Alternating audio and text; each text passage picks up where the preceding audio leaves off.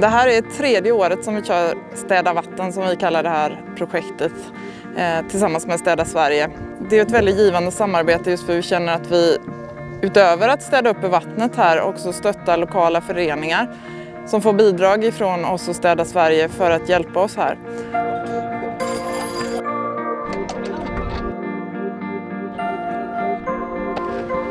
Dags att leva som alla är. Ner och städa havet.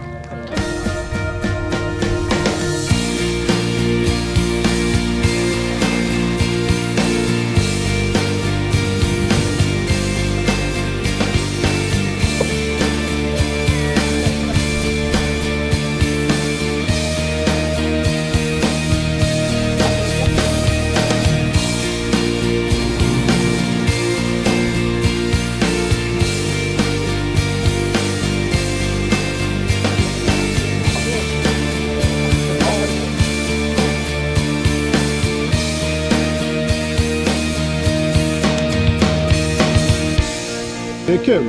Ja. Men vi såg någonting häftigt. En sån lång ål. Nej.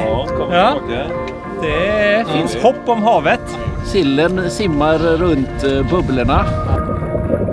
Dyker man så ser man ju vad som ligger på bottnarna och då blir man ju ganska skrämd. Det är bra att få upp allt skräp. Ja.